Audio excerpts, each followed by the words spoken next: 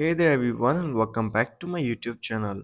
So guys today in this video I will tell you how to fix lagging and dropping frame rate issue on iPhone 15, 15 Pro and 15 Pro Max. So guys many iPhone 15 users are complaining about after buying the latest iPhone 15 they are facing an issue of lagging and dropping frame rate too much.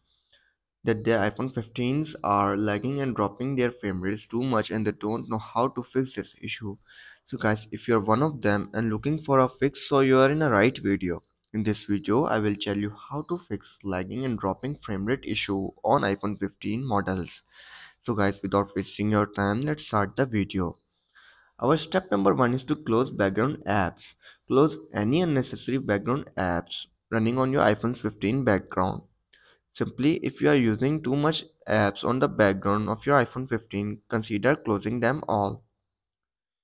Then you have to do is restart your iPhone 15. Restarting your iPhone can help clear temporary files and refresh the system. To restart your iPhone, you have to simply open the settings, go back and go to the general, scroll down and then tap on shutdown, shut down your iPhone 15 completely and then restart it. If restarting your iPhone doesn't work, then you have to do is check for iOS update. Ensure that your iPhone 15 is running the latest version of iOS. You have to go to the general, tap on software update, and check if there is any available update for iPhone 15. If there is, then simply update your iPhone 15 to its latest version. After this, then you have to do is free up storage space. Insufficient uh, storage space can impact performance. You have to do is simply delete unnecessary apps, photos, videos, and other files to free up the storage.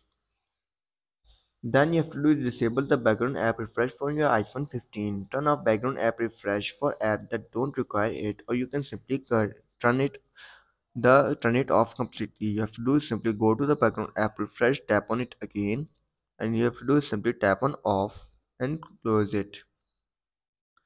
So guys after this then you have to do is disable uh, enable the reduce motion effects. Some visual effects like parallax motions can contribute to lagging. You have to do is simply go to the settings, go to accessibility, tap on motion and you have to make sure that the reduce motion is enabled on your iPhone 15. So guys after trying all of these steps and you're still facing and your iPhone 15 is still lagging and dropping the frame rates then I will suggest you to do reset all settings on your iPhone 15.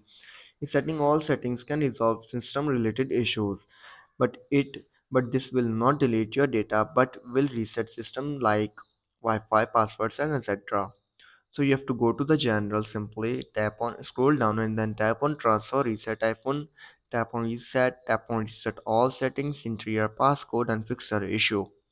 So guys these were some simple steps at how to fix lagging and lagging and dropping frame rate issue on your iPhone 15 models. If this video helps you then be sure to like and subscribe my YouTube channel for upcoming videos and thanks for watching.